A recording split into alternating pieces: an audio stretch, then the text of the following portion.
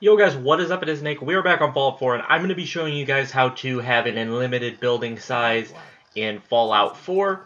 So you're going to come over to your workbench and you're going to want to have a bunch of different weapons with you. Um, I'm just going to go ahead and throw in some. Uh, make sure not to throw in the ones that I want to use because I have them. Oh, they're not hotkeyed. Okay, they're not hotkeyed anymore. So I'll go ahead and do that. Then back out head right back in and go ahead and take them out. I don't want those. Uh, but go ahead and take all of the weapons you just placed in and take them out. Now, I suggest you go and find an open area. Uh, I'm trying to remember where I have a house cleared. Aha, here, over here. You want to go to a nice flat area, open area, and to do this, so what you're going to want to do from here, open up your inventory, and go ahead and drop all of the guns that you just did that with. So go ahead and just drop everything.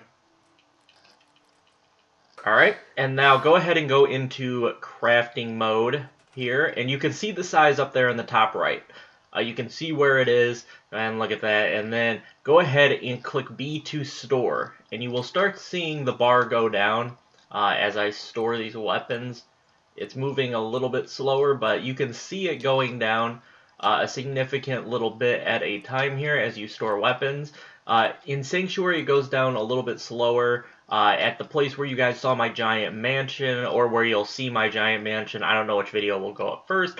It goes down a whole lot faster, but you can see uh, how that how it works. Um, would be really nice if I didn't have a house built here, but I do because that's really close to where uh, the workbench is. So you just want to he head back to the workbench go ahead and just remove the weapons again.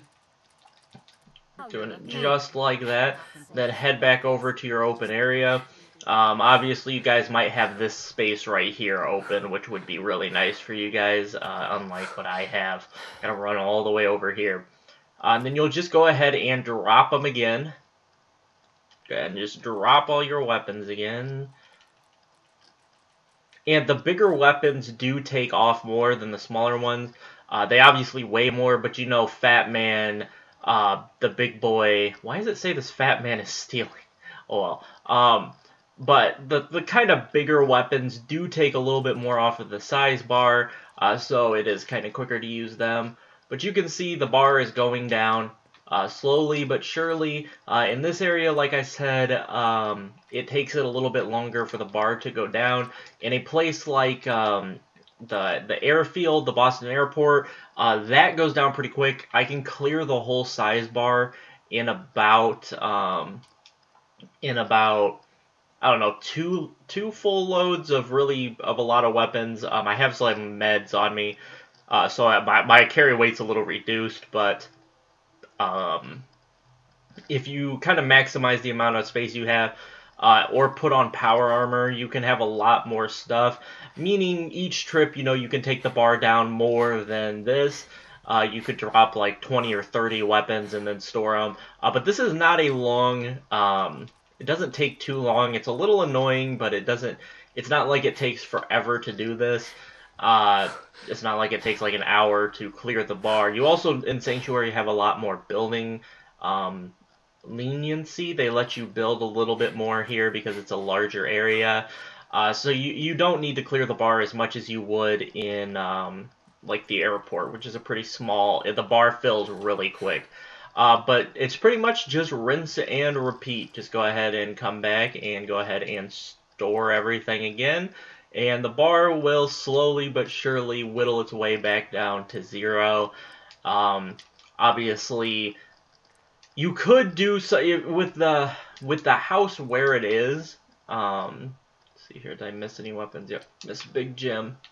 Okay, so where this house is in Sanctuary, what you could do is just get a crap ton of weapons. Make your carry weight a thousand or whatever. Throw them all down, and then go ahead and uh, store them all because it doesn't really matter. That's not that long of a walk if you're over encumbered, so it doesn't really matter.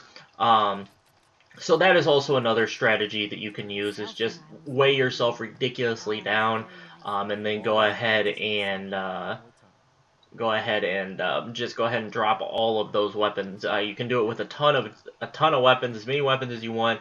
Uh, it's just a matter of getting that bar from wherever it is currently for you all the way down to zero. So you we, we started a little bit over half, or a little bit under half now, but in this, um, building stuff doesn't take up as much as in other places. Uh, so that's going to do it for this video, guys. I hope you all enjoyed. That's just a little tutorial on how to de how to have unlimited building size in Fallout 4. Uh, I hope you guys enjoyed, and I'll catch you guys in the next video. Peace out.